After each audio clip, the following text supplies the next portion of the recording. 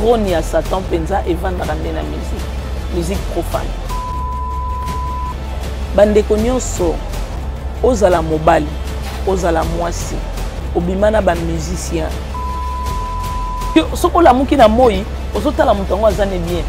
me na butu vampire olobi a ah, eza nango kaka bando bandoto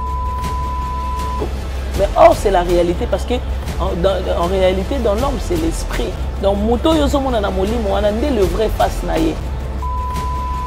Aki mi temps wana nyonso na bamenance azoluka kaka ndenge nini ya koboma ngai mais aza na choix te fo asakrifie nga mpo na makambo na ye tranquillise-toi tranquillise-toi epuis moto yango abimeli nga ndenge nini bima ta ndenge papa lendele alati boye te nde babota ye non non bilamba wana ya banigeria oyo toyebi ya bato ya baframaçon oh. tu vois bachapeau wana milai wana balataka boye wana oh. na baveste wana ezalaka ah. demi na suka okay. esali songe ya noir voilà je vous dis dieu m'attend parler je jure au nom de dieu tobundana na bango batie nga likolo ya mesa sacrifice na bango nani apesi nga sacrifice musicien wana tobandi kobutana na bango papa alain après babandi koinvoke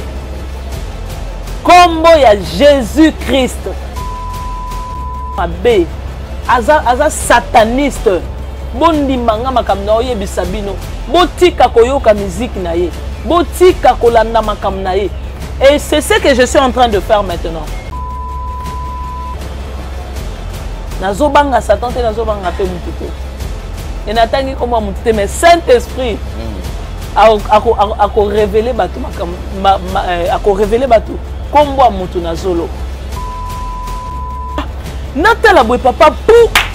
pasteur moko apparaître oyo alobaka euh, le dieu de arc en ciel seigneur azoloba azobetela biso sete ya 2021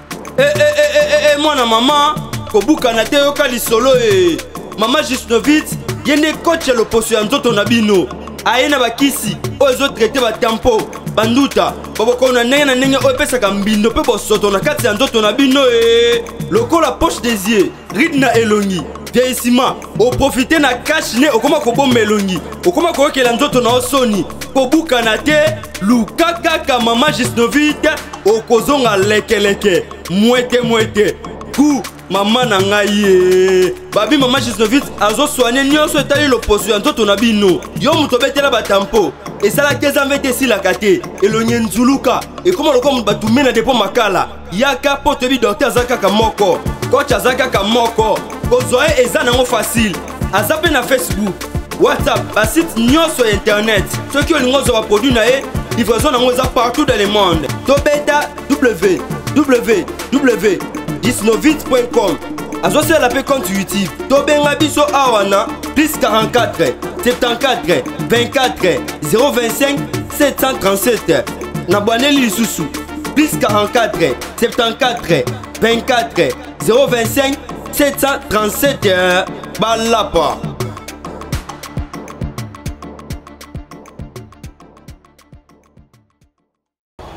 Vérité et réalité, votre magazine. Mesdames et messieurs, bienvenue à ce tout nouveau numéro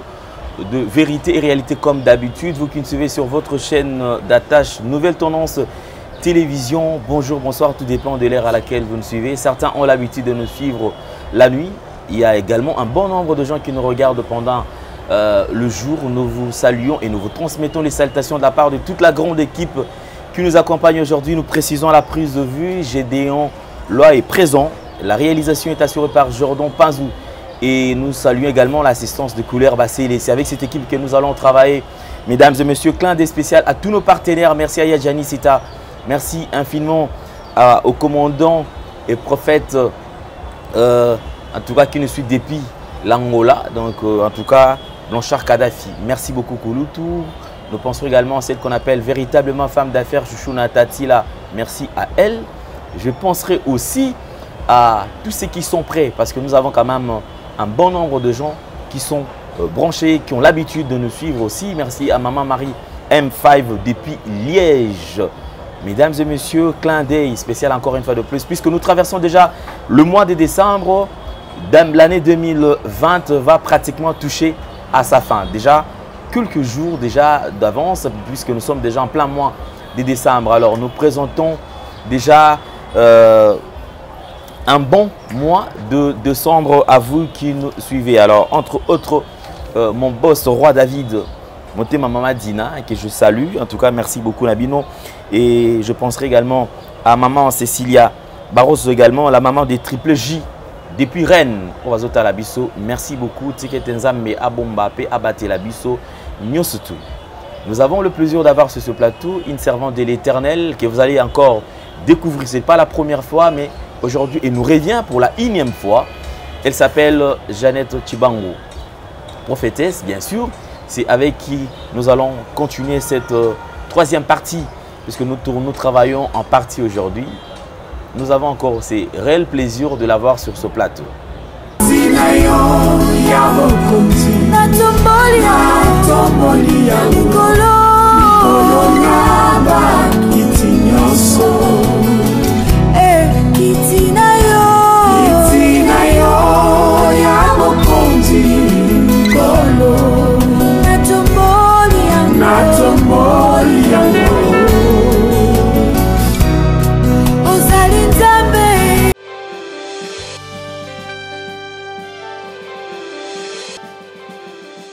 Voilà, donc nous continuons avec la quatrième partie, allais-je dire. Voilà, ce n'est pas la troisième partie, donc nous avançons. Déjà, nous sommes déjà à la quatrième partie de son témoignage, bien sûr, également ce témoignage qui va aussi euh, contenir aussi des messages, parce que ça, ça, c'est vraiment important parce que tout, de temps à autre tout l'andela kamakambo à la loupe surtout le langage utilisé et puis bah, révélation oyo mingi mingi bazo memela biso to oyo bazo révéler au travers na ba émission oyo balekaka na ba chaîne na biso encore une fois de plus toza ebele po bozala pe ebele ya kozala na biso Vous n'êtes pas encore abonné, allez vous abonner sur votre chaîne Nouvelle Tendance Télévision afin d'être en contact avec nous.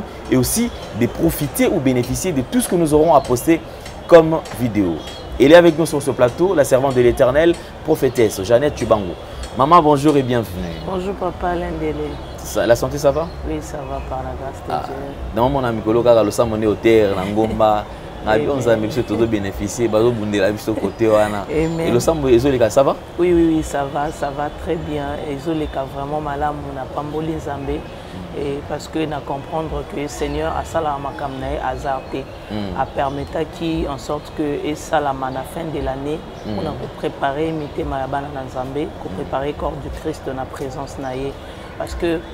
ntango seigneur apesa ye nga message oyo alobaki na ngai ma fille va kende oprépare mitema ya bana na ngai oyo wapi na 2021 2021 naza na besoin na bango nyonso bazala liboso ya trône na ngai lokola le 24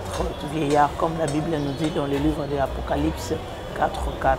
alors seigneur ayebisi ngai alobi motu moko te akoya liboso na ngai na bilamba ya sali te motu moko te akoki koya liboso na ngai na solo parce que apesaki nga exemple mm. apesaki nga exemple ya ya, mm. ya kaka tomonaka ke motu yo moko osali salite na yo mais ozoyoka yango nkeleozokokosupporte yango te na solo na yango mm. alors c'est pareil aussi nzambe amonaka motu nyonso aza na kati ya masumu motu nyonso oyo motema na ye evandisami na makambo ebele parce que tozolobela sur motema depuis ebandeli première émission na biso tozali kolobela so banzube mhm. makambo oyo ebombami na kati ya motema parce que motema nde eza sanduku motema nde ezali vie ya moto mobimba soki motema moto eza mwindu c'est-à-dire ezala vie na yo mobimba ekozala lolenge motema na yo ezali alors seigneur alobi na ngai préparer mitema bana na ngai parce que 2021 ezali année euh, oyo seigneur ezali thème oyo nzambe apesi ngai ezali année de prière Pourquoi année de prière Parce que biso nyonso toyebi na ba église na biso na chaque année bamesana kopesa oyoka année de gloire année de prospérité année de victoire année des exploits mais seigneur alobi cette fois-ci ezali année de prière pourquoi na 2019 napesaka message na baémission ya bandeko na yo mosusu par rapport ya makambo ezalaka koleka na vent ya fin ya 2019 contre basali ya nzambe bango na bango lolenge bazalaki kotambola e ntango nayaki seigneur apesaki nga message kolobaki 2020 tozokota depuis janvier ntina suka nango ekozalaka avant ya basali na makambo ya minene baevenema minene mm. e tozomona ke 2020 momba tosilisi yango na baevenema omoni koto bakangi pasteur koto bakangi mochantre kote oyo makambo ebimi boye bakangi oyo kote oyo boye tout ça donc tosilisi vent wana mobimba 2020 alors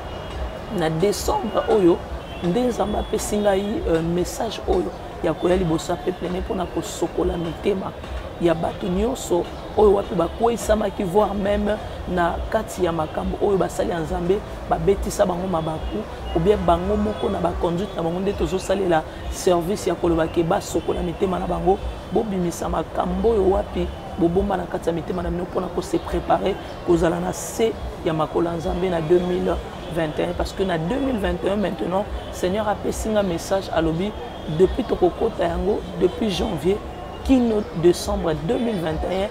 tout ce qui est écrit dans les livres de l'apocalypse ezobanda maintenant ko kokokisama e moto aza na sa makolo ya trone ya nzambe akotala mopepe akokipe mopepe oyo ezobeta libanda te mhm. parce que oza na sa makolo ya le roi de roi mhm. alors oyo ezobeta libanda ezala mipepe ye ya bamalade o covid 60 o epidemi ya, ya ebola o balobi bato bazonga congo o balobi soki nini lokola oza na sa makolo ya nzambe nzambe akozwa soin ya makambo nyonso wana yo zala nde na samakola nzambe oadore nzambe alors mpo na kozala na samakola nzambe il faut opetola motema na yo motema ezali image ya robe il faut sokola robe na yo ezala pembe liboso ya nzambe pour que ozala liboso ya trone na ye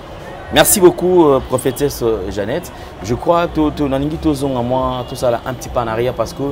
hier nous avons suivi tous le message, euh, il y a président de la République, après avoir consulté des gens lobi enfin il s'est adressé na nation mpo na ntina na koexplike makambo nyonso tu ndenge ezolekana na kati ya mboka mpe ndenge ndenge nini basololaki na bayiki oyo bakendaki ko, ko se faire consulter par président de la république alors je voudrais faire euh, relayer ce message na message moko na otaki kolanda ya yo epai ya bandeko que je salue d'ailleurs ivipan okay. et, et nous avons suivi message oyo obimi olobaki je crois ezalaki en pleine periode ya consultation okay. message déjà oyo obimisaki okoki kozongisa biso mwa nsima le message c'était quoi parce que apparemment on dirait message yango elingi ozokende kokende à peu près eza kokenda kozwa couleur ya makambo oyo esalamaki lobo gloire à dieu merci beaucoup papa ndele alain ndele na question oyo mm. parce que normalement eh, naza mpe na message mosusu seigneur apesi ngai mm. mpo na président de la république euh, président fachi mm. et puis na président kabila Euh, c'est vrai que message oyo ozoloba nazwaki yango ya de cela une semaine si je me trompe pas 10 jours passé mm. nalekaki epa bandeko message ezalaki boye nalobaki mpo na kozongisa bandeko balandaki te alors euh, bacomprendre namonaki bamemaki ngai place moko alors place yango tokomaki bazolakisa ngai train namonaki train ezalaki ezalaki ya kokatana na deux morceaux mais train wana ezalaki déjà rouillé omoni train oyo ezala abandonné il y a longtemps vraiment ndenge euh, mabende na yango ekomaka rouillé ebebi na couleur et puis barail na yango ezalaki lisusu te donc ezalaki déclassé catégoriquement mm. moyen train etambola eza te mais namoni président faci aye Pendant ayaki apesi ordre, apesi mbongo, apesi na mitindo babongisa place wana epuis bazongisa train pour que train ebanda kotambola e bato bazalaki wana bazwi babandi kosala misala namoni basopi eh, bakayase basopi ciment babetone epuis bazongisi batie rai ya sika après baye kozwa train wana ndenge ezalaki eh, ya kokatana na deux morceaux ale bazwi basangisi yango ekomi très moko basude parti oyo ezalaki ya kokatana wana ntango basude bapense yango balongoli banini oyo ndenge e, e, e, egrata eruaki déjà eruaki et puis bazwi bapakoli yango peinture namoni bazongisi yango ya sika hmm. batya yango peinture balati yango peinture ya couleur ya drapeau ya congo hmm. na étoile ya congo namoni train wana ekomaki kotambola ezongi ya marche pendant que ekomaki kotambola to acclame biso nyonso esika tozalaki mosala esili na sorti na ngai babandi osenga ngai mbongo ndenge bato bazalaka so basali misala opesa bango mwa quelque chose ofinance bango nayebisi bango naza na mbongo opesa bino te me namoni na maboko na ngai nazalaki na singa singa kaka oyo batongelaka bilamba mpo bandeko na biso ya batailleur hmm. nazwi singa wana nasimbaki na songe nabwakeli ye ntango nabwakeli ye pendant ke nabwakeli ye ngai nazokende alobi ah mare apesi biso oyebi bato yango nde bazalaka te mare apesi biso singa olie apesa biso mbongo wana alobi te okosa alobi o oh, akosa ndenge nini ye mpe azwi singa wana abwakeli mosusu mais tandis que atikali yango na maboko donc c'était comme ça ese retrouve na maboko na biso nyonso epuis na répondre bango na biso napesi yo mbongo okolia lelo esili mais mosala oyo biso tosali ekosunga biso ntina génération ya bana na biso bakoko na biso bazala malamu alors message ya singa oyo seigneur azali kotransmettre na biso nyonso tosimbaki singa ezali seigneur aza na besoin peuple congolais tozala bomoko peuple congolais tosimbana makasi tozala corrompu te na mbongo mais tosimbana e tosoutenir président de la république pour ke mosala ekende liboso papa lendele nazali eh, politicienne te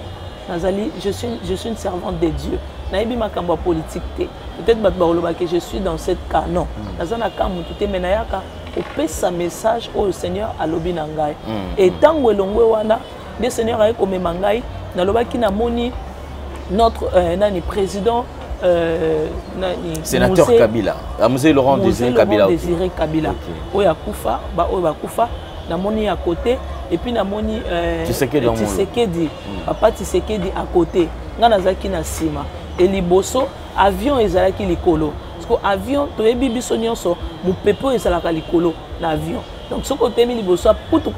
okotema ata liboso ya porte te mpo soki bafongoli kaka fenêtre mopepe wana ekomema yo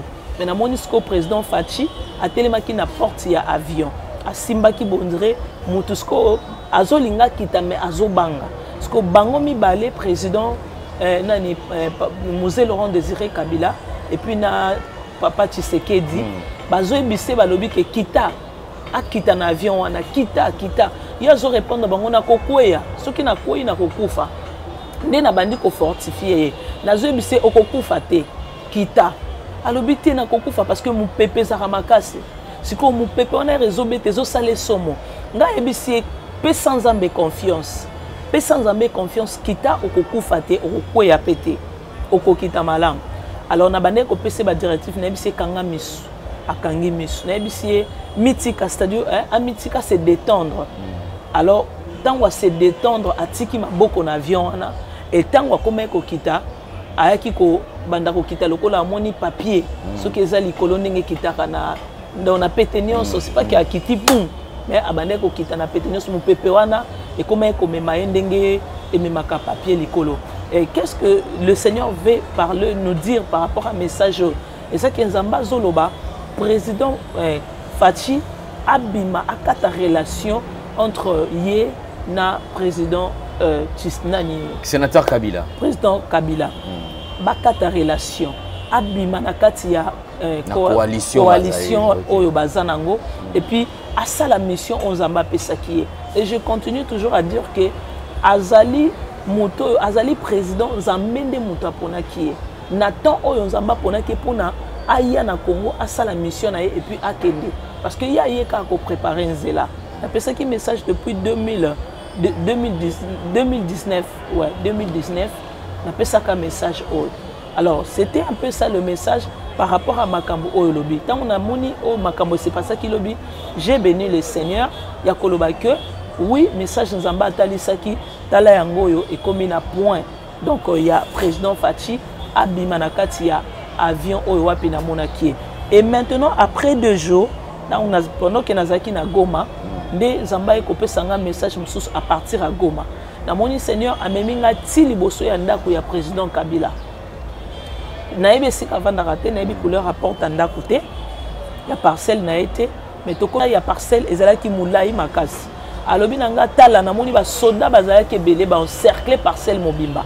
alobi nazomona sikoyo na kati ya parcelle na kati kuna namoni mama olive namoni président kabila namoni basoda na bango bango nyonso bazalaki enferme na kati alobi nakangi bango en otage nakangi bango en otage bakobouge te moto moko akobima aza te moto aza na droit akobima awa ezali kaka mwana je vis babimisi mwana ake classe eh, et puis azongi alobi mutu moko aza na droit kobima a te lokola nga nzambe na avertir bango basili koyoka mongongo na nga te maintenant natelemi liboso ya porte na bango e nde message nazopesa toka liboso nalekaki nalobaki mama olive seigneur aza koavertir na kati ya ndako etant que femme etant que une femme etant que mwasi otelema mpona kosola na papa otelema mpona koluka elongi ya nzambe kolela mawa nzambe na kati ya famille parce que oyo namoni eza mopepe ya malamu te oyo ezoluka kobeta na kati ya libota ya famille ya mama olive lembe alors nde nzambe ayebisi nga alobi ekomi na moment sikoyo a agir parce que bayoki mongongo ya nzambe te c'était un peu ça le message par rapport à question oyo posée et puis par rapport à ce qui se passe maintenant oyo biso nyonso toyebi na kati ya mboka na biso congo merci beaucoup nous allons euh... relayer le deuxième message parce que otina ma ba prière et puis ozo continuer ba prière nzambe alobi nini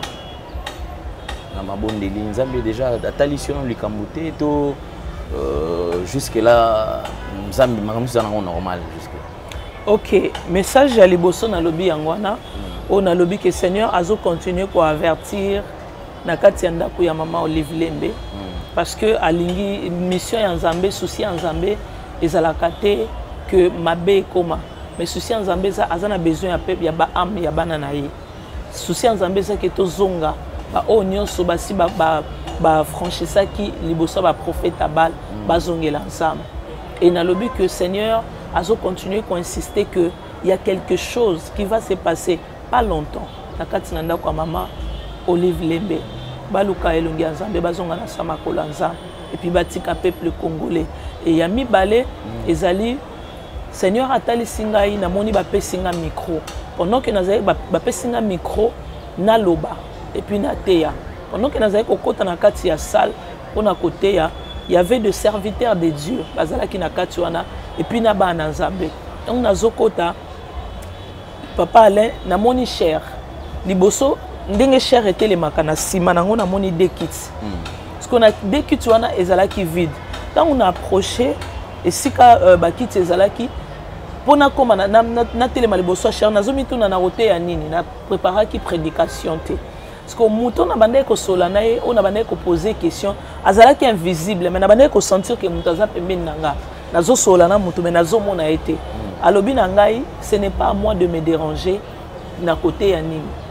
nateya sikoyo ntango nabandi kopusana navandi na kiti na nga e moto wana azalaki invisible nde avandaki ya kote e moto oyo azalaki invisible c'est lui le saint esprit ye nde moto atiaka ainspiraka basali na nzambe na moment oyo totelemaka liboso ya chair mpo na koteya apesi nga verset biblique ntango nazwi euh, natelemi mpo nakende euh, na kiti esika oyo wapi bapesaka esika oyo wapi batyelaka baserviteur mm. bakiti na bango mpo nazwa bible na nga ntango nazwi bible verset liboso oyo nafongolaki e, ezalaki kolobela e,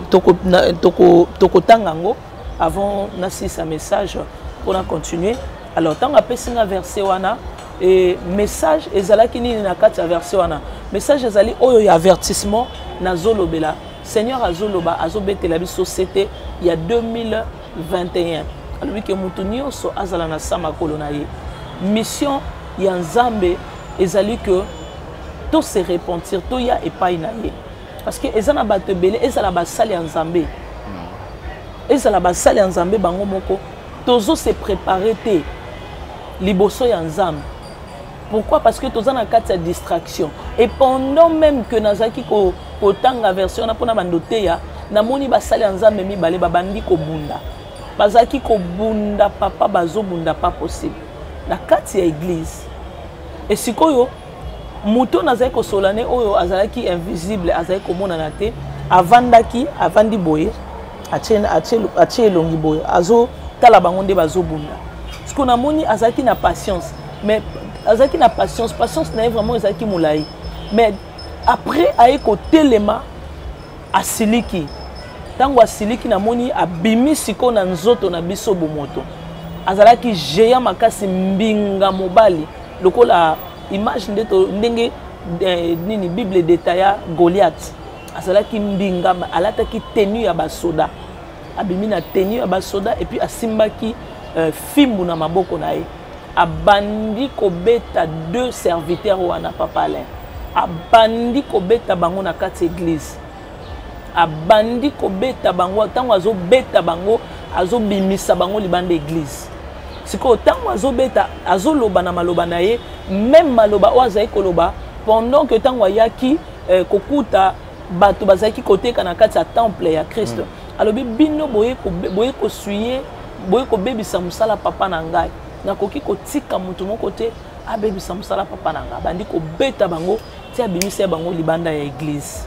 alors nde na nsima na yango natikalaki na continuaki mission oyo kolo apesaki ngai nabandaki koteya eh, sur la repentance koyebisa bana nzambe base prépare e nabandaki kolobela bango makambo naye kolobela bana nzambe nyonso bazolanda biso awa ya ke 2021 nzambe azosenga na biso nyonso tovanda na sa makolo na ye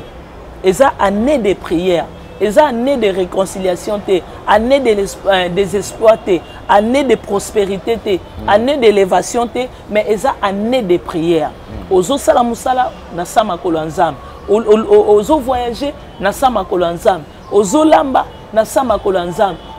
nyonso ozosala na sa makolo ya nzambe ndenge bible ezoloba biso prier sans cesse seigneur aza na besoin tozala na présence na ye année mobimba pourquoi parce que mopepe oyo ezobanda kobeta na 2021 ezali tout ce qui est écrit dans le livre de l'apocalypse seigneur azobanda maintenant koagir yango aza na besoin na biso na se ya makolo na ye seigneur m'a dit ceci depuis janvier 2020 ti tokomi na décembre alobi na ngai bana na ngai basaleli ngai nini tandis que mipepa ba covid-19 ebimi tandis que bana no babeli bokoti hôpital ya yo babimi bamosusu batikali bakufi tandis que voisin to voisine na yo moninga na yo oyoki sango akufi akufeli mwana akufeli papa akufeli ndeko me yo nzambe abateli yo ezala na fami na yo leki na yo akufeli yaya no akufeli me yo nzambe abateli yo depuis janvier ti décembre mipepa ba covid-19 bamboka tozovanda epanzani me yo na bana na yo boza épargne bosaleli nzambe nini e bozosalela nzambe nini seigneur alobi na ngai yebisa na peuple na ngai alobi na peuple na ye moto nyonso alobi mwana na nzambe nyonso yo moko oza na droit ya 12 bible tosomba 12 bible eza orientation nzambe apesi ngai par rapport à message oyo olobi nkolo apesi 12 bible na 12 bible wana ezali signification ya koloba depuis janvier kino décembre na 12 bible wana tokosomba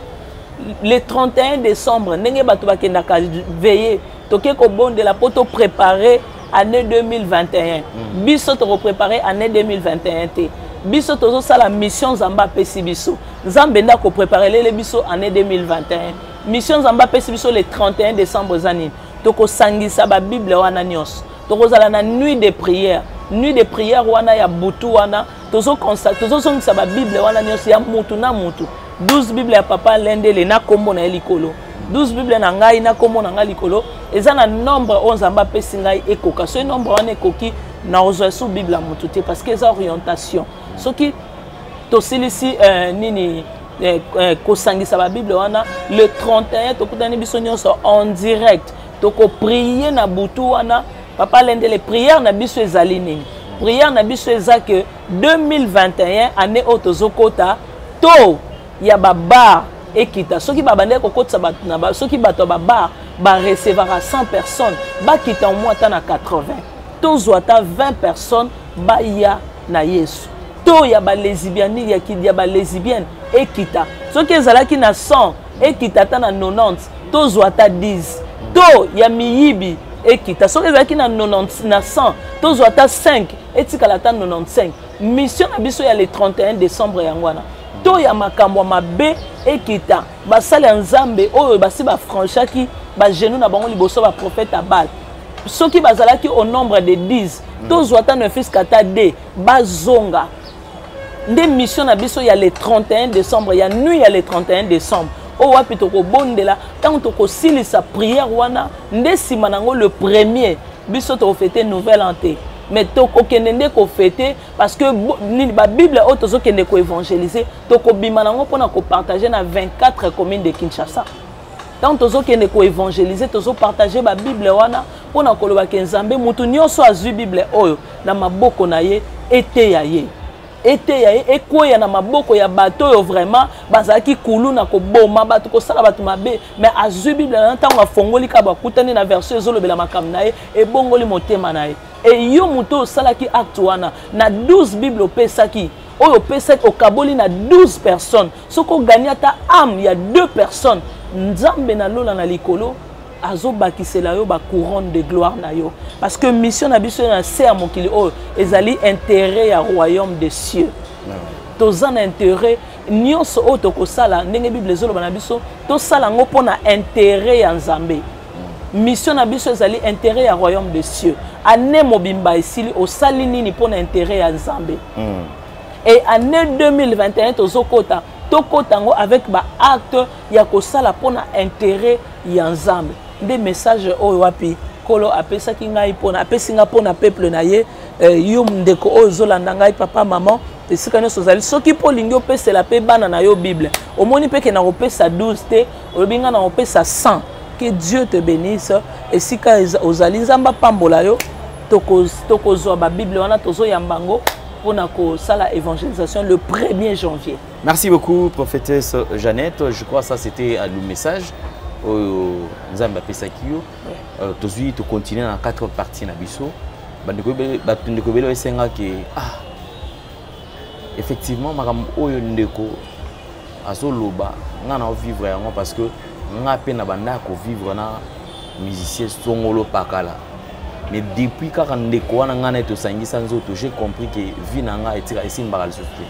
bafere na bandaki kosala esimbaka lisusu te nakoma motu moko boye eh, c'est-à-dire ke ngai mpo na ngai donc soki nzoto namoni nzoto ya ndeko ya mobali te ekosimba te donc makambo na ngai tu ekoma otourne kaka aron nazo évolue te cela veut dire ke bato ebele basepelaki base retrouvaki na parti wana monde musical mama jeannette tozo continue quatrième partie okay.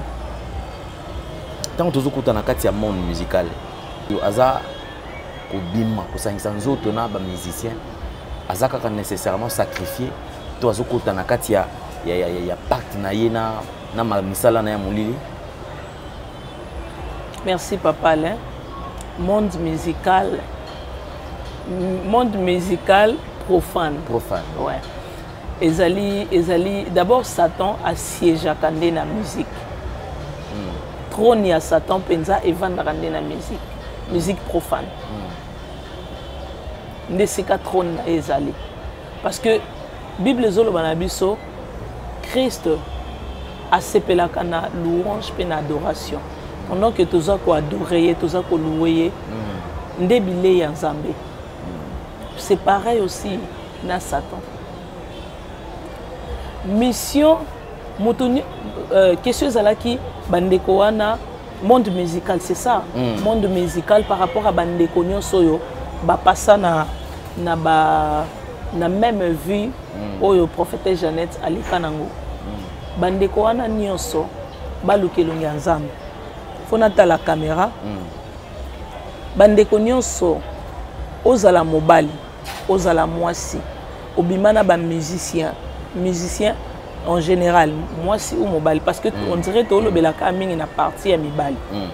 mais na basi mpe bazali bachanteuse mpe bazali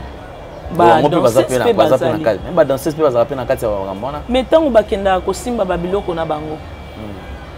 ntango yo yo osangani ne ndenge ake kosimba biloko na ye babimaka na banganga azolala sikoyo moto alali na nganga moto alali na catchere nganga aza moto oyo azosalela bato bakisi azopesa mm. bato donc azopesa bato bakisi siko aimpose yo aoblige yo olala na ye mm. atikeli yo combien de semence bongo ntango yo mpe mobali ya boye okoya kolala na mwasi ya boye vie na yo ekozala ndenge donc mm. c'est de vice versa mais plus eza mibali parce que na, na, la majorité mibali nde baleki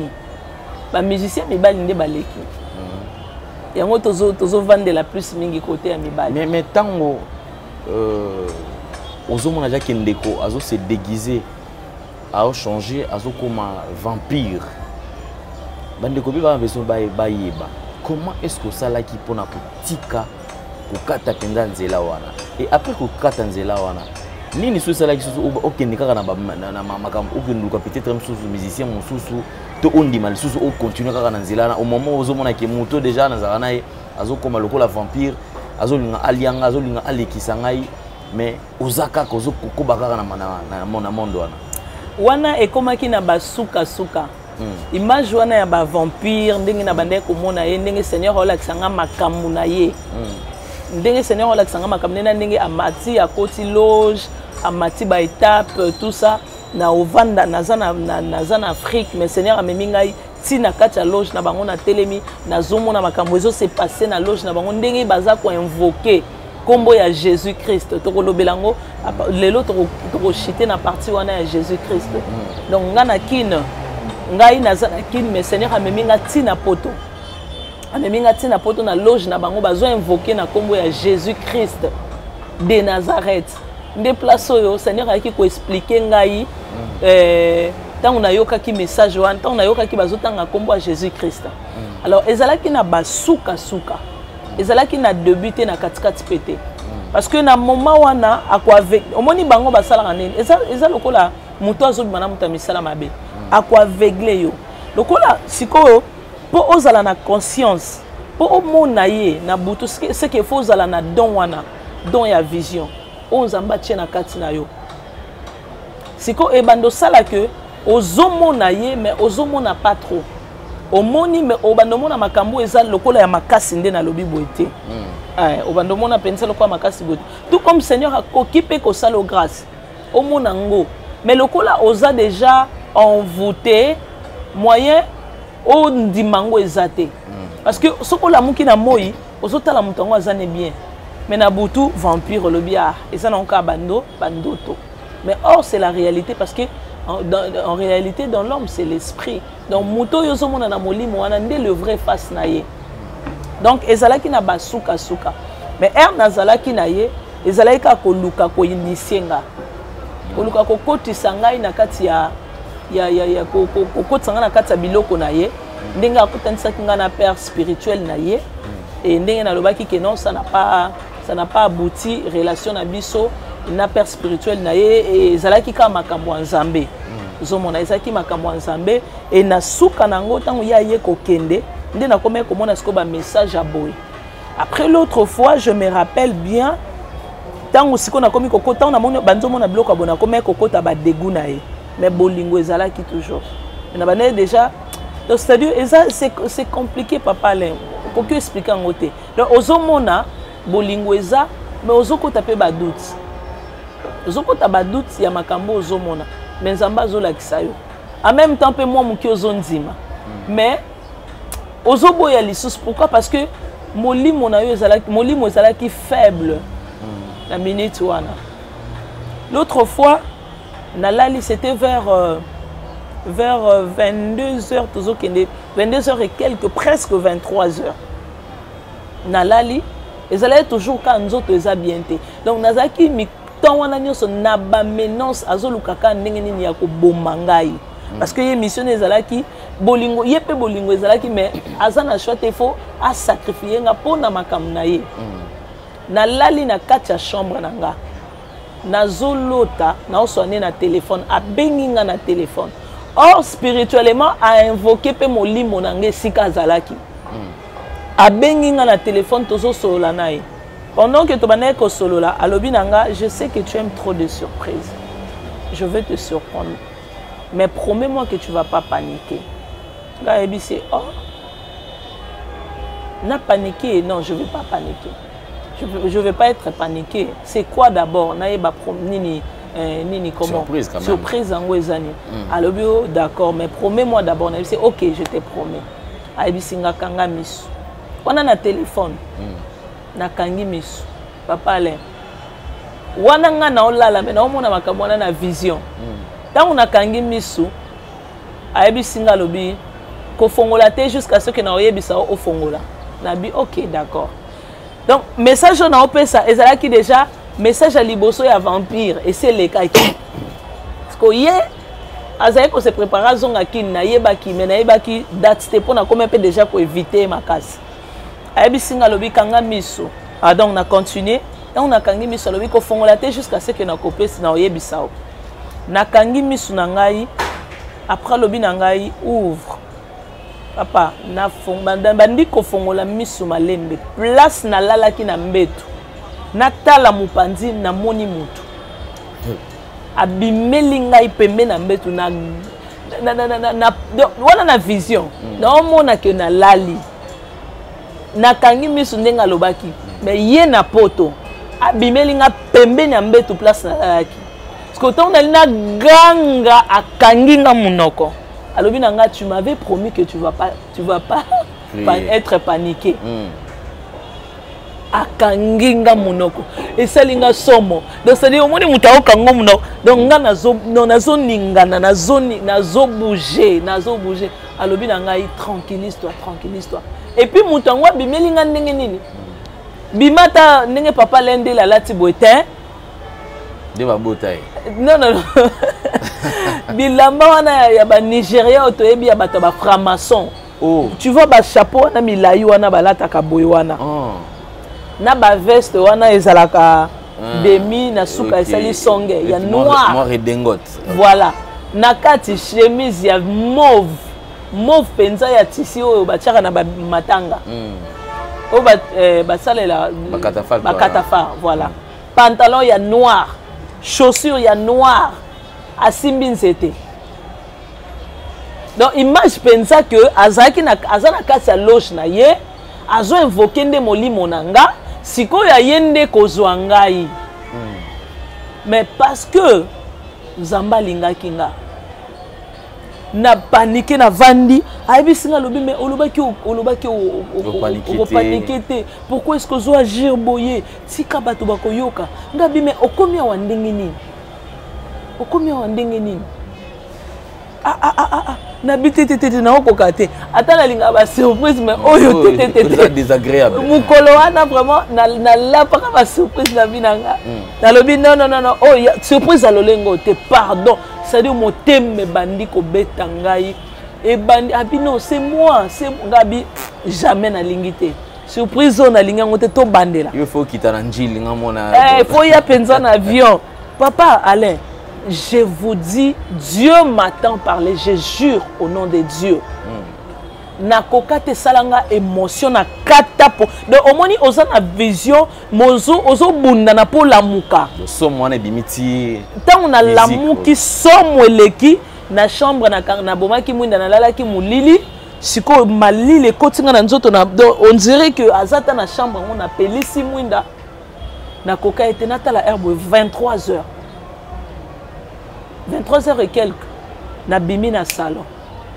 navandi omoni so na ndoto outi ko koleka na événement moko ya makasi etokisaka mm. epuis motema ebanda obeta papapapapa ezobeta mbango moko okoma panike nabimi na salon navandi ah makambo nini oyo nauti omona est ce que makambo oyo nauti omona eza ya solo navandi pendant 5 minutes ya silence nga moko na chambre na salon parce que bato nyonso basi balalaki esprit moko etindi nga napelisa na tele papa alendele nazwa telecommande, telecommande. ezalaki juste à côté na kiti navandaki mm. na fini quand ntango na fini tele pele moto ya liboso na omona ye na meme chapeau namonaki na vision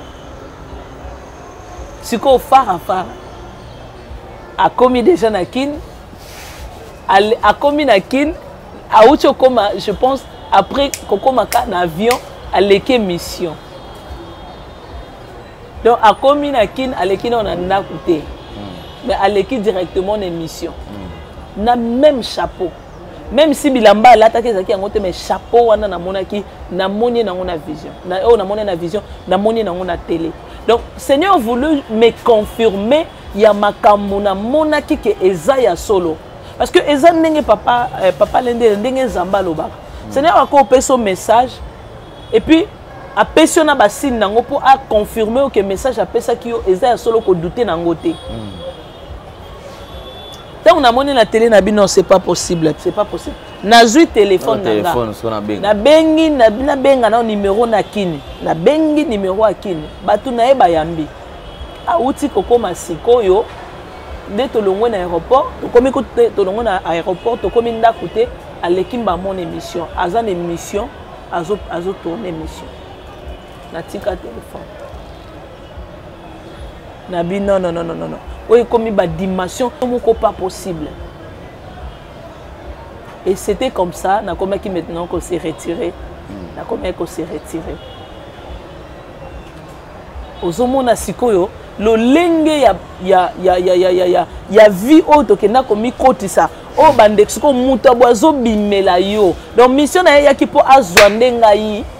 molimo na nge donc soki nazalaki molimo moko ya, ya, ya, ya, ya pete mais ero naza te mais ntango quand même euh, oyoki ke azongi obengi mpe numero eleki oyambi mpe babiro na ye basololi na yo mpe normal alors mwa curiosité après wana mbala moko okataki to noningana rencontre na bino siko ntango okuti ye siko boye est ce que sentiment wana ezalaki kaka normal ya ke moto nazalaka na ye to eh, okoma osanti peut-être ya mosusu ke mwa kobanga mpe banda okomaki kolakisa ke okoma obanga ye ezalaki euh, eza envoûtement oui c'est vrai que euh, makambo nyonso wana ebanda ozo ntango na omoni ebo eza lokola papa ndele alain ndele na otala yo nzambe alakisi nga bomoto na yo ya kati hmm. mais naomona yo papa lendela aza na ye bien boye mais naomona makambo mosusu na yo donc déjà ka mwa eloko moko boye ekozala hmm. eh, donc déjà distance ebandaki kozala parce que après cela ayaki korappeler hmm. ayaki korappeler epuis nayaki komona ye amemelaki nga biloko je prie mais c'est-à-dire que ntango mpe nazongi na biloko wana bandi ofongola na bandi otala na bandi baimage nyonso wana ezozonga ndenge nazomona ye ndenge azomeka nga ndenge azoluka kolekisa nga ndenge ndenge ndenge tout ça na nyonso wana mais nayebi eloko moko aloba na ngai alobi na ngai bi ntango na bande nga mpe lisusu kozala c'est-à-dire kozala bebe spirituel oyo nazalaki mm. nazalaki soki namoni ebandeli soki namoni likambo eh, ndenge alinga eh, alia nga bo mm. eh, yo olinga olia nga nga okoka nga te ngai mpenza okoka nga te naloti yo boye namoni yo boye nga kutu te okayebisi nga alobi ah omiyebaka te so ozalaka nani so omiyebaki soki ozalaki nani olinga oloba bongo te oyebi pouvoir oyo ezalaka na yo te parce que c'est pas donné à tout le monde ya obotama mpasi pouvoir oyo ezala na yo oyebi te mais je, aujourd'hui lelo siko na comprendre pouvoir yango oyo azali kolobela ezalaki nini donc nolobela sur spiritualité oyo oza nango eloko nzambe atye kati atyaki kati eloko nzambe atya kati na ngai yango nde ezali koempeshe koetouffe bango baboma ngai mais eloko wana mpe yango nde mpe bango bazalaki nango besoin mpo na koutilize yango tala lelo monde entier hmm. bato bazopambwama na ngolo ya nzambe à travers mosala nzambe oyo nazosala siko bango bazalaki na besoin omoni eloko wana bato nyonso wana bazotala bazopambwama sikoyo soki bango baresisaki kozwa eloko wana na kati na ngai ye azosalela yango elingaki sikoyo eporte mpe succès elevation na kati ya mosala na ye nde eloko balukaka alors esilaki te de place na ye koloba makambo ya jésus christ de nazareth ntango nakomi déjà distance na ye e akomaki bon en fait ye ayebaki ayebaki tokomai déjà na ba na baguerre d'esprit spirituellement acomprenaki mpe que non naomona ye a comprenaki mais lokola azali na mission moko moyen atika ezalaki te fallait akende na mission na ye ntina suka hmm. alors lokola aza motu déjà oyo tozalaka na ye toyebanaki ekomaki ke mingi abandaki koya sikoyo physiquement te mpo physiquement séparation ebandaki kokota nakomaki kokima na église par rapport à makambo na bandaki komona eglize yango mpe naokima lisusu nsima na yango nde nzambe ayaki komema ngai so na eglize yango alakisa ngai eglize yango na bandaki kokimela na okanisa na okende oluka nde délivrance kuna mm. na okende eglize moko na, na lime te na, na, à l'époque à l'époque non non déjà ekomaki na côté industriel mm. nazokima kuna ngai croyant ke nake koluka délivrance parce que makambo nakomaki komona elekaki ebele donc ngai na ye de vue contact ekatanaki mais sikoyo akomaki koya nde plus euh, na bandoto hmm. e omona nalali mokolo mosusu aye koya namoni bango bavandi sikoyo ezalaki soki na prie mingi soki na banzi oluka nzambe nazomata bamontagne tout et tout naomona ye na vision na nga toza ne distance naomona ye aza mosika nga mpe naa mosika me toomonana siko tooko kopusana pembeni te omona otala nga na miso ya mawa azotala nga na miso ya mawa mais de vue seigneur mpe déjà asayebisi nga alobi ke yebaki aoluka yo aotika yo te parce que mission na bango ezalaka nini mission na bango eza que meme esika oza partout na monde esika oyo ozala lokola ayebi ke oza dans le seigneur te oyokaka musique na ye ata na nzela oyoka donc il va faire tout en sorte que atikwa ata libanga moko mpo ntango oyoka esala nini ezongisa yo bapense ndenge bozalaki na ye oluka ye parce que na numéro na nga téléphone j'avais changé na changeaki nyonso nakataki contact nyonso na biloko nyonso nayebi ya ye nazwaka nazwaki yango nyonso natumbi napasoli nasalaki vraiment tout que nyonso ya ye elongwa epai na nga physiquement mm. c'était pas facile nazalaki so na efface numero na ye mona ezongi tellement ke nazali nango na motu heure moko mwana compose lisusu ozomona mpenza ke motu bakanga yo oza envoute mais le seigneur seigneur ayaki kosunga ngai na nde numéro wana efasamaki na motu sikoyo tose mettre déjà en distance na, na, na, na, na, na, donc nakendaki déjà nalongwaki pembeni na ye mm. physiquement tokabwanaki physiquement etikalaki sikoyo tokabwana spirituellement mm. parce que physiquement tokabwani tandis que spirituellement non tokabwani te nakokaki kokabwana na ye physiquement te hmm. sikoyo esengaki faye nazonga na sa makolo ya nzambe mpo na koluka kokabwana na ye spirituellement nde sikoyo na bandoto ekomaki omona aza distance nga mpe distance moi mosusu azosolola kuna azoyebisa bango ah jeannette atiki ngai atiki ngai akei na ye aboyi na ye ngai apréféré akende na ye sikoyo l'autre fois je me rappelle parce que y avait un moment vu que j'étais pas encore euh, euh, na, na, na, na se convertaki vraiment à 100% te ezalaki na bamoment mosusu nakwei mosusu natelemi l'autre fois nayebi que non euh, namelaki masanga ah, après komela masanga tout et tout nazalaki na kwiti nalali na kwiti sikoyo namoni bavandi ensemble na baninga na ye bazobeta masolo pendant que bavandi ensemble nazoya parce que heure na ye abengi nga hey, eh, tout et tout heure azobenga nga parce que il m'appelait pas dans mon nom Jeannette ntango azobenga ngai je me suis approché alobi ah okima nga kala boye otika nga boye ndenge nini tu vois na nzela ya masanga ezongisi relation na biso spirituellement mm. okima nga boye ndenge nini otika nga bone na bino je suis là likambo eza te tozali kosola après na bino nono nazoka malili nazoka malili naza na besoin ya tricot alobi ah mais ici c'est ta maison vas-y va la chambre va prendre, euh, va prendre les tricots est ce que ozoka malili faut oloba na ngai osenga ngai kende na, na, na ndako lelo okomo ya osuka kaka na salon eh, na libanda papa ive na, eh, sorry papa alain mm. natelemi mm. na bandi okende na salle na bandi okende na chambre mm. nazokende na sentir ke ye mpe atelemi mm. aolanda ngai na nsima mm. nakoti na salon jésus mm. nakoti na salon ntango nakoti na salon nafongoli nasimbi poignet ya, ya porte mm. ya chambre nayoki bato baosolola nayoki bato baosola na chambre me ye azalaki libanda natali mpe boye namoni ye na nsima na nga mm. sikotona ah, me makelele na kati ya chambre banani baza na chambre nafongoli nafongoli poignet nafongoli porte mokie boye namoni bato sikoyo nazomona mikongo ya bato bazalaki nul batie mesa likolo ya mesa bassin ya mai e na mopanzi mpe kuna bato bazalaki nui me na banda komona nao bato nyonso te lokola nafongoli porte ka mokie namoni kaka bato nsima mikongo na bango nde bavandi na bakiti bazalaki nui ah kabi oyo oh, nini naomona sikoyo ntango nafongoli porte bien nde naye komona bato bavandaki bango nyonso wana nu mesa epuis bassin ya mai likolo ya mesa esali nga somo sikoyo nakanga eh, porte nabaluka nazonga atindi azali na nsima na ngai te hmm. atindiki nga mbala moko na kati abi na banda oluka yo na bandaki koluka yo nazwi yo donc ezalaki à cause ya masanga nabandaki koluko na zwi ntango atindiki ngai nakoti na kati ya chambre bakangi porte papa alain bato nyonso mitakala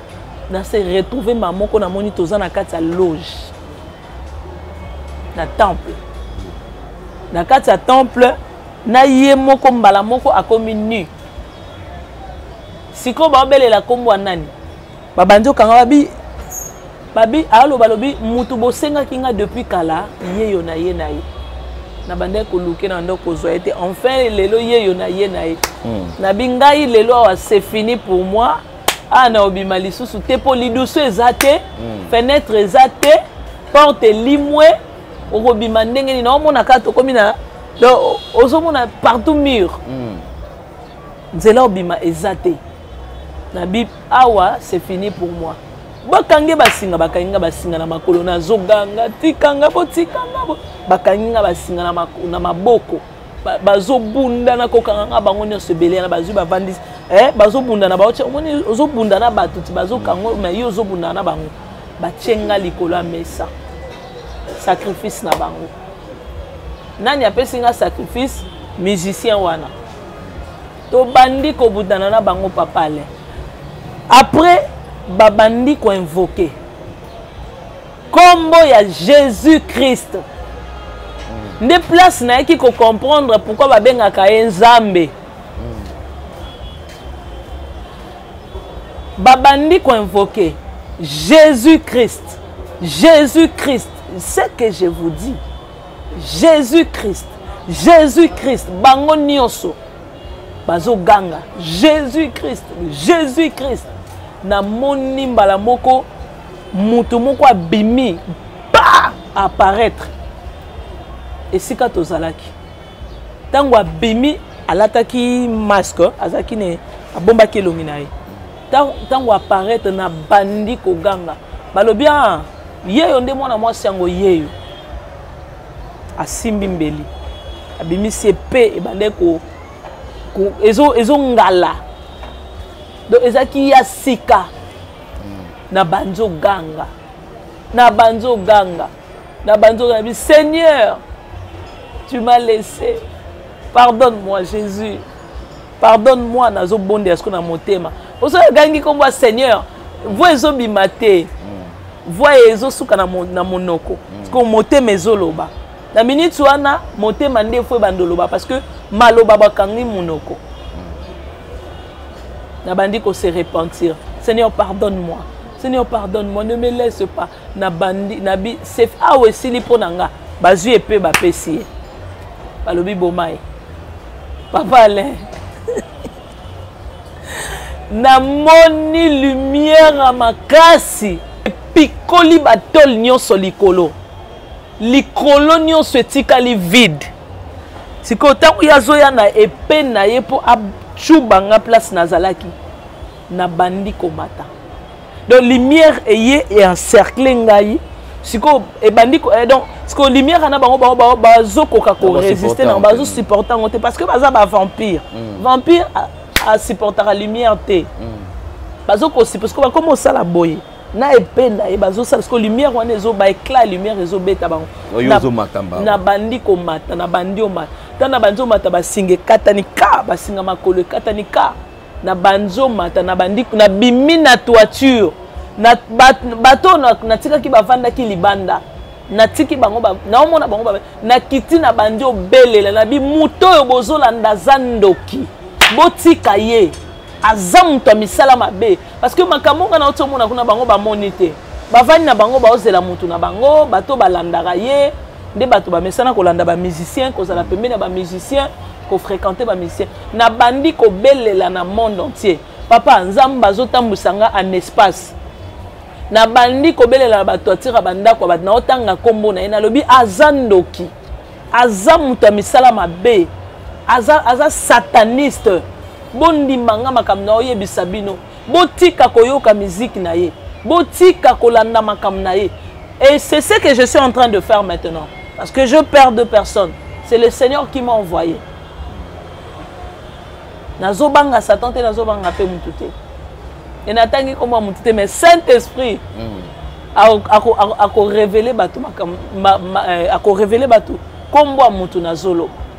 et c'est lui là que je parle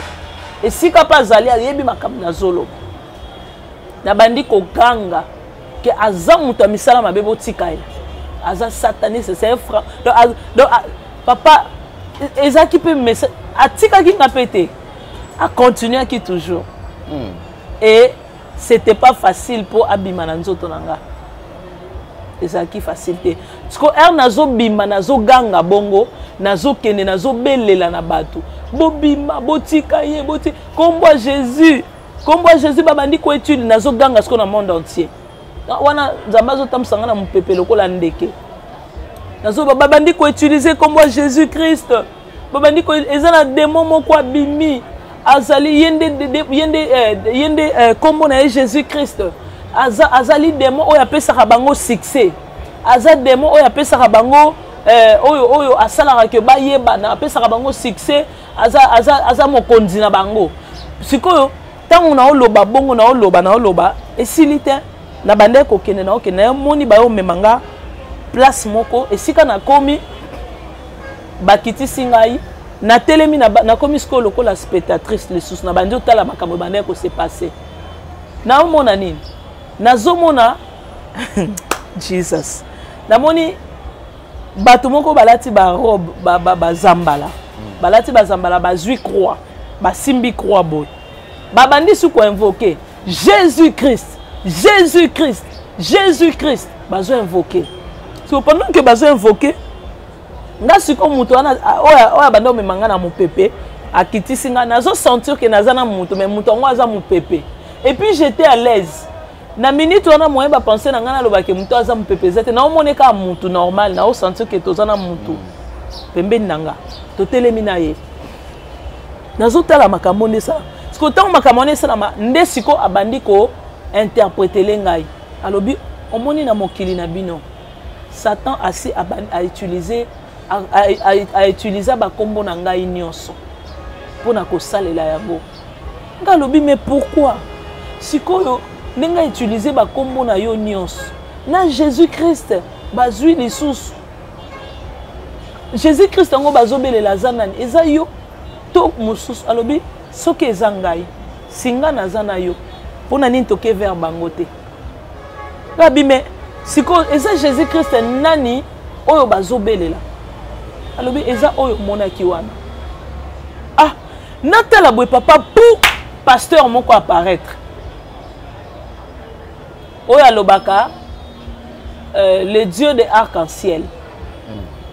apparaître nga alobi me kuna ye aza musicien mokili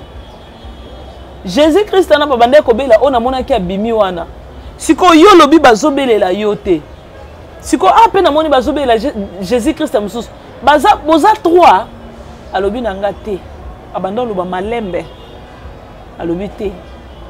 oyo oyo omonaki kuna nde ye oyo bazobelela nga alobi oh mais ye aza pasteur alobi oui Gabi, oh. Mais hier, n'est-ce pas que l'autre fois, parce que je me rappelle, na banda kolanda ba émission na ye ya pasteur wana na banda kolanda ba émission na ye ya ba prédication ndenge azali koteya l'autre fois nasepela na message moko alobi ntango azalaki na mboka abandaki kosepela mingi e, e, e, asalaka acte moko Eh, nzambe ntango azolobele akendaka vers nzambe alakisaka ye mosali ya nzambe moko azalaki moto ya bakisi tu etu akendaka vers ye ntina cher koyebisa eke bimisa bakisi na yo oza moto ya baframason eh, oza moto ya bakisi soki otie tembe nazobela moto ya nzambe ezokita wa ezobebisa makambo no bandimi no nyonso bamona misala na yo siko ngai mpe ntango seigneur abandaki kolakisa ngai babiloko nyonso wana makambo ya bapasteur comment est ce que bato bazotonda na baeglise or dieu n'est pas là-bas baza bato ya bascience mais bazo croire na bango mpo baotanga nkombo ya jésus christ de nazareth que seigneur alingaki aenseigne ngai koyebisa ngai mpo na koyebisa peuple na ye ke bakomi kosalela nkombo ya jésus christ de nazareth nyonso pourquoi parce que bayebi ke liboso ezalaki soki alobi ka jésus babi te atanga nkombo ya kriste te aza moto ya franc-maçon nde baye kokɔta na kriste mpo basala nini nyonso wana ba aveugle peuple de dieu hmm. alobaki te pasteur na biso kala ezalaka bongo pasteur na biso atanga nkombo ya jésus krist hmm. sikoyo lokola mpe bato bacomprendre que bazotanga nkombo ya jésus christ hmm. mais baza dans le dans, dans, euh, dans, baza na kati ya magie bakei ti au-delà ya koloba jésus christ de nazareth abi nga alobi me ntango tolobaka nkombo ya nazareth c'est-à-dire ezali esika christ abimela alobi eza mboka eza lokola congo eza lokola luanda mm. eza lokola belgique mm-hmm. eza ka identité ya esika moto abimeli eza lokola papa alain ndele abimeli na famille ndele ndele mm. lelo oyo mama moko aboti mwana moko azwi apesi nkombo ya mwana wana alain ndele abimeli na kati ya famille ndele mais azwi nkombo ya ndele nkombo ya alain ndele mobimba et c'est pareil aussi na ndenge bazwa nkombo ya jésus christ de nazareth mais le véritable alain ndele oyo abotami na kati ya famille ya ndele eza yo mm. mais oyo wana mosusu ezali nkombo aza pirate hmm. sikoyo ngai alobi tokodifferencie sikoyo ndenge nini ya koyeba le vrai ndele na le faux hmm. alobi na ngai ce n'est pas fini nabandi kotala namoni pasteur wana abimi ngai alobi ah sikoyo seigneur alingaki mpo na nini alakisa ngai makambo ya pasteur na parce que nazalaki kondima mpe koyeba kaka ke non aza toujours na nzela malamu ya nzambe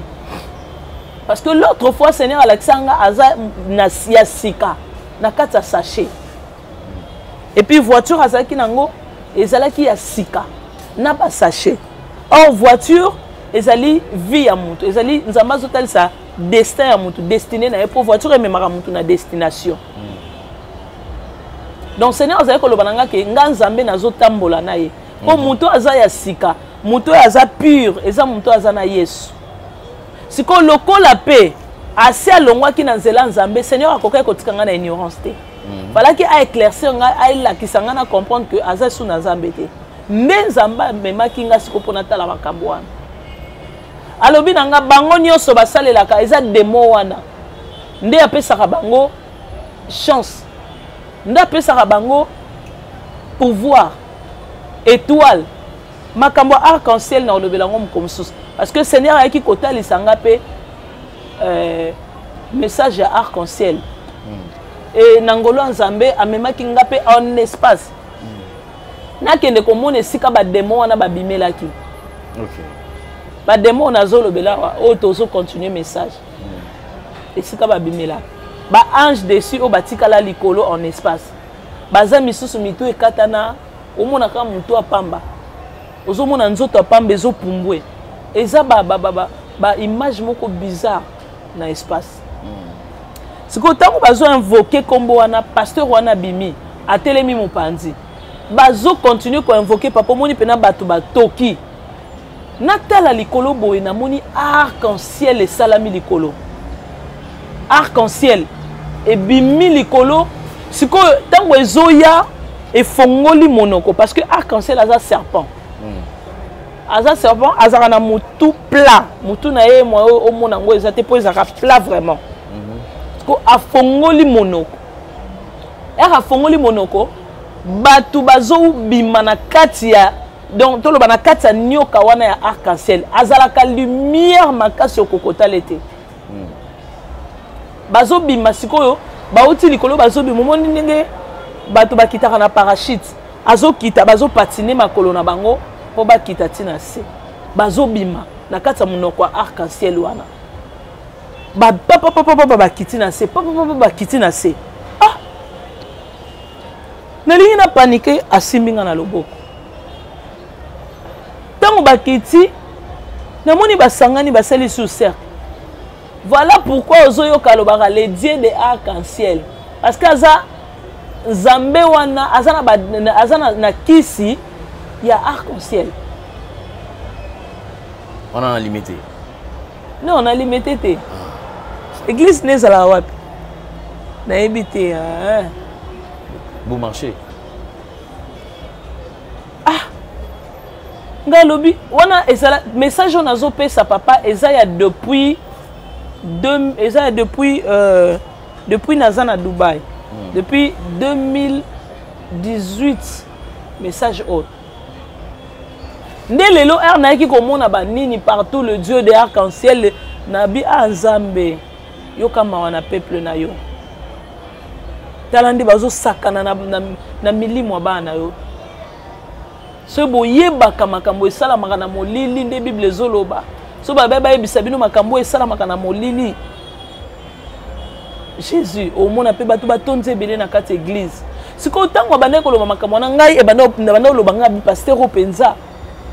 nga mpenza na bando osalaka parce que na banda oya na rage ya bonzambe mpo makambo nzambe abanda olakisa ngai banda opesa ngai kanda sikoyo lokola nazala mpe deja moto akanda sikoyo nanda oloba na ndokende ntina baeglize na bango makambo nzambe alakisi nga de fois nazalaki so nzambe amemi nga ntina kati ya eglize wana nayebisi na okende te nga fo navanda ti ntongo ere ekoka bato sala bato bamona ngai nayebisa bango makambo ngai namoni awa na kati ya eglize oyo babayaka lisusu te baya te ayebisi ngai non tu dois multiplier na bi pardon tika kaka natikala awa ntongo etanela ngai abi non non non tu dois rentrer nazalaki sikoyo na rage wana mais esengaki avant naya na kine nde seigneur ayaki kovisite ngai ayaki kobenda ngai kozwa ngai mpo akotisa ngai le fruit de, de l'amour nde lelo nakomi na maîtrise naomona mpe bango boye naomona ezosanga mpe eloko te mais liboso papa alain ayayayaya nazokaposa nabima na tv esika nazalaki ana nabimi kaka na tv nabi moto oyo bomona papa alain ndelo oyo aza boye aza boye aza bobima hmm. nazalaki sikoyo bongo alors namoni bazo invoke jésus christ jésus christ ntango bakiti babandi okita babandi okita bakiti mbala moko namoni mwana na ye ya mobali abimi mpo bainvokaki mwana namoni mwana abimi mwana atelemi mwana abimaki na attitude ya kolela makasi hmm. azalaki na mai ya miso ebele omoni motu soki aleli mingi mai ya miso epolisi bilamba hmm. azolela me azoloba te azotyaka donc azolela cest à azolela alliance oyo papa na ye alingi akotisa ye nango ye alingi yango te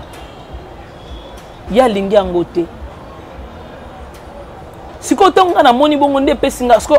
epesi nga kanda r nini ntango bato wana balobi bon to bozwa ye bokende na ye ngabi bokende ne wapi akokende pai moko te wana siko r nalobi voi na ngai sikoyo ebimi bayoki yango mpo liboso banda omona ngai te siko ntango vu ebimi bayoki ngai moto nazalaki na ye ngai naomone me bango baomone te napusani sikoyo natiki ye neti esika totelemaki ngai napusani vers bato wana nabi bokende ne epai moko te bokende ne wapi batali ngai babi yo oza nani ye mpe pasteur wana atali ngai alobi ngai nazozwa mwana ngai nazomeme na ndako parce que ndako eza loge eza ba langage code mm. nazomeme na ndako yo oyebisa ngai nasala yango te nga papa na ye nayebisi nalobi obota ye c'est vrai koza papa na ye biologique mais père papa na ye spirituel oyo aza wana apermettre te ke bokende na ye bokende na ye te papa tobandi donc bango bazobenda ye na loboko ngai nazobende na loboko babi yo oza nani mpo opekisa biso tokende na ye il faut tokende ne na ndako mpo il faut azala initie ye moto akoherite akosilisa akosilisa mission ya papa na ye ngai alobi akokende te parce que mokolo na ye aza na mposa na ye akokende te tobandi kobendana na bango oyo abendi koto ngai nabendi koto abendi koto ngai nabendi c'est par là maintenant bango babandi lisusu kobwaka puisque sikoyo moto oyo tozalaki na ye abandi koexplike nga pendant ke nga naobunda me naosolola na ye naosolola na ye nazoka makambo aoloba na nga na matoi alobi voilà maintenant sikoyo abandi opesa ngai réponse ya question oyo napozaki ye tokoyeba kodifferencie ndenge nini tandis que oyo azobelela jésus christ de nazareth mm. ngai mpe nazobelela jésus christ de nazareth tokodiferencie yango ndenge nini pendant ke tokomaki kobunda bango baobimisa puissance omoni bafilme ya nigeria oyo totalaka mm. ozomona moto atie boye puissance ebimi mm. bango bazala obimisa puissance na bango ngai mpe naobimisa oyo ya ngai sikoyo se par là oyo ya bango ezoya ya ngai mpe ezoya ntango ezokutana lokola ezalaki eza singa moko te mm. lokola ezalaki singa moko te na katikati na biso etie barrière esali deux couleurs oyo anga couleur ya pembe oyo ya bango esali esali neti rose mm. eh, neti mm. rose moko ya pale mm. donc esali deux couleurs na katikati etie séparation donc deux puissance ebandi sikoko esangani eh, ezobunda oyo ekoleka ya baninga oyo oyo akoganye oyo ekwei oyo mosusu etikali donc ezalaka bongo na na combat fo moko a perdre mosusu a, a gagner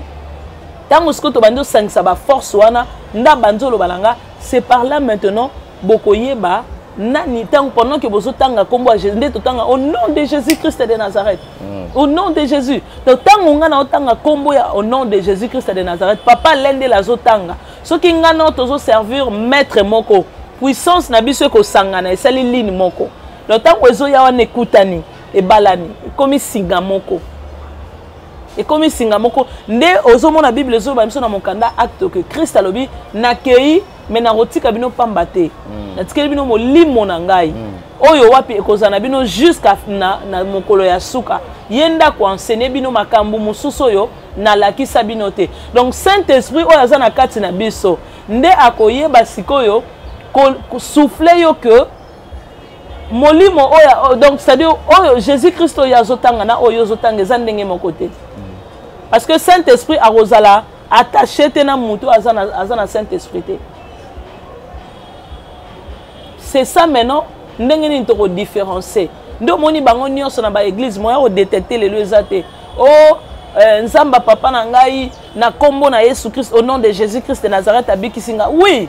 atangi na ye nkombo ya jésus christ de nazareth mazali le vrai te mm-hmm. aza jésus christ de nazareth oyo biso toyebi te aza le faux parce que baosalela bakomi kosalela nkombo ya christ bapasteur nyonso oyo baza na succès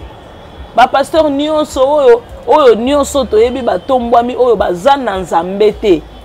nkombo ya jésus christ de nazareth baotanga yango mobimba depuis ebandeli ti suka mais jésus christ oyo babelelaka na kati ya baeglize wana ezali jésus christ de nazareth oyo biso toyebi te le vrai et sans tâche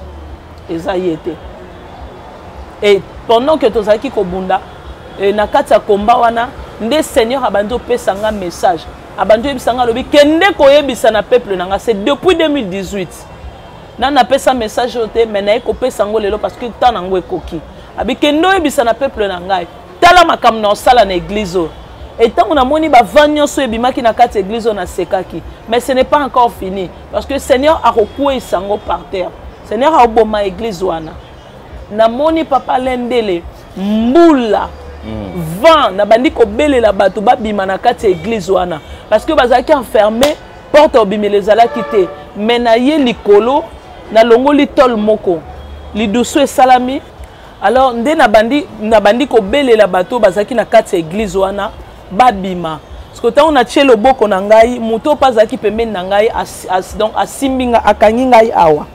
akangi ngai awa epui ngai natye loboko na ngai nazobelela bango na kati ya eglize wana babima baoyo bazali koyoka ngai baye basimbi loboko nazali kobenda bango na kati ya toiture na kati eh, likolo ya toiture na kati ya eglize wana nazobimisa bango epuis ntango nazobenda bango oyo akangaki ngai nde sikoyo azalaki support na ngai mpo na kopermettre ke ngai mpe nakweya te nazinda te na kati ya eglize wana nazobela bango na bi bobima tala mbonge ya makasi ezoya epuis mbonge wana ezali koya namoni yango ezoya na banioka ya minene ezoya ekoti na kati ya eglize deja eglise ezalaki ya kokangama porte obimela ezalaki te parceke ntango mbonge wana mpe ye ekoti lisusu ka oyo bazalaki na kati ya mai wana babandi kolia bato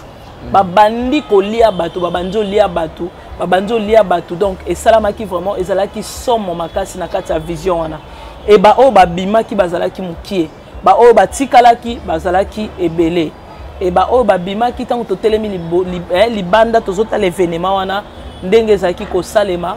ndenge banyoka bazalaki kolia bato ndenge mbongo ekotaki na kati ya eglize wana e, ezalaki vraiment mpasi mingi e, c'était fini mpo na bandeko wana alors vision esukaki place wana merci beaucoup mpo na message merci mpo na kolendisa bana nzambe so à travers euh, témoignage na yo Euh, je crois que bandeko bokotala biso partagez faites le maximum de partage ntango omoni ke yo obénéficie nango zwa mpe lisusu kende partage partage donc oyo ezali batémoignage tokolanda tokobénéficie na quelque chose mpona ntina na koyeba nini makambo ezosalama na opesa mbote na euh, sœur jenny hein, jenny ple fernandez donc mama jenny eh, na londres napesi mbote esika azotala biso je crois que ba témoignage eyali ba témoignage ezali les gens m'ont appelé mpona koconfirme euh, euh, ba témoignage oyo bato mpe baza na bamesa ba témoignage ebele ebele je crois dans les jours à venir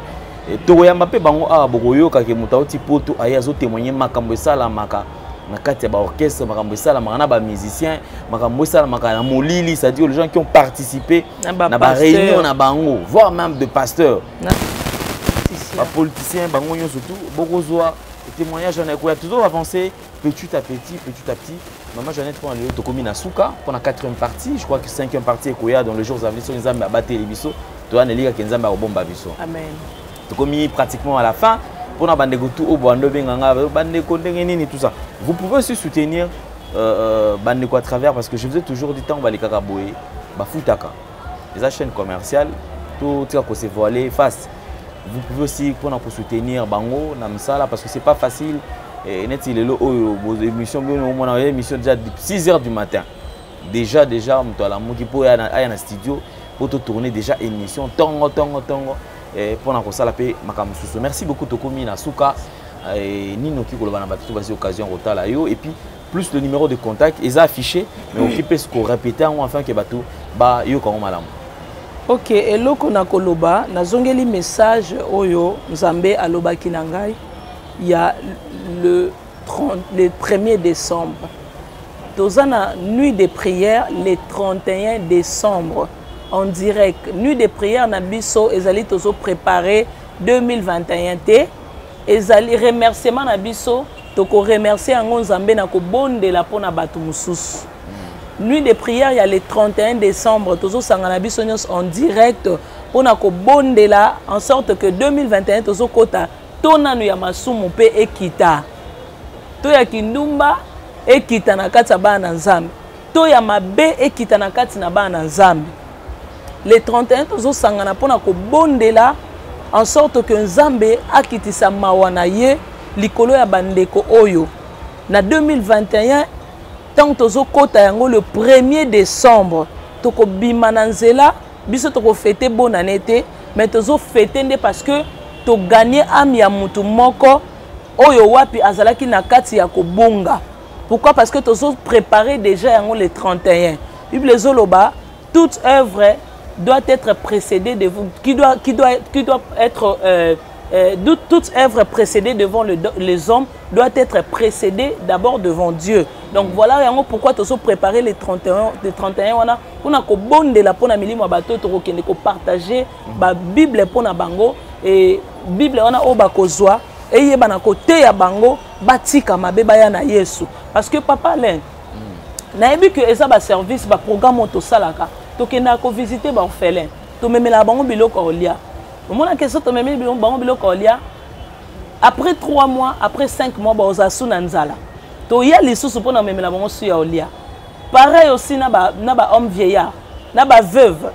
babolamu nyonso tosalaka oui c'est bien bon tozomema bilamba tokolatisa bango lelo mais elamba wana ekopasuka lobi oza so na besoin elamba tokoya kotikela eso elamba mais cette fois-ci seigneur apesi biso révélation oyo ya komema elamba te ya komema bilei ya nzoto te mais ya komema bilei oyo ezoliesa molimo parce que mission na biso ezali intérêt ya royaume des cieux soki tomemeli bango bilei oyo ezoliesa molimo eza liloba na nzambe nzambe akozwa soin ya orphelin oyo nzambe akozwa soin ya veve oyo nzambe akozwa soin ya moto oyo aza na besoin ya soutien ya bato à travers bible na yo moko oyo wapi ekokende na maboko ya ndeko seigneur alobi motu nyonso motu nyonso topesa 12 bible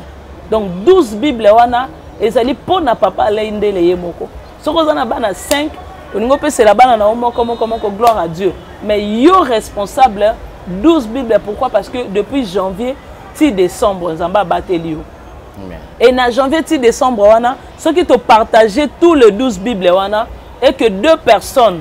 base convertir na mois ya janvier ou bien depuis janvier 2021 ti décembre mm. tika ete nzambe wana akokanisela yo pourquoi parce que likolo ozotonga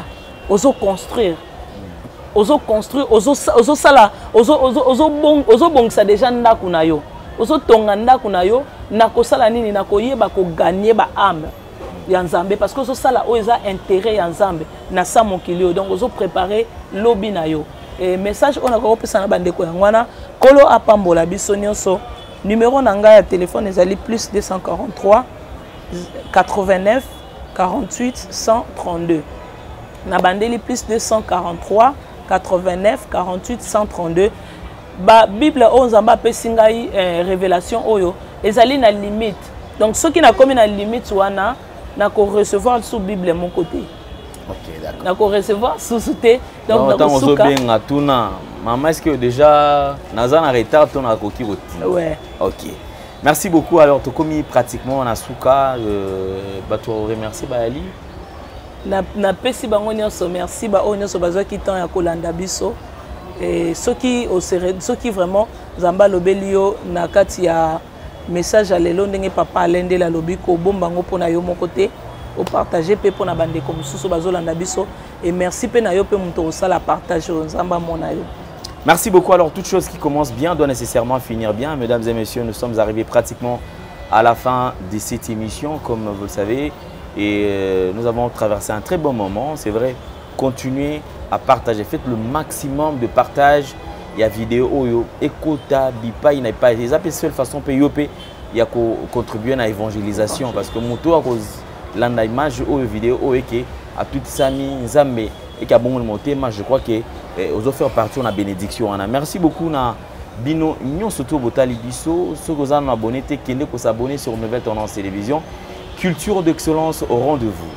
merci à Gédéon merci à Jordan Panzou merci à Couleur Bassel également waza na biso elongo nous nous retrouvons très très prochainement portez-vous bien bye bye à la prochaine au revoir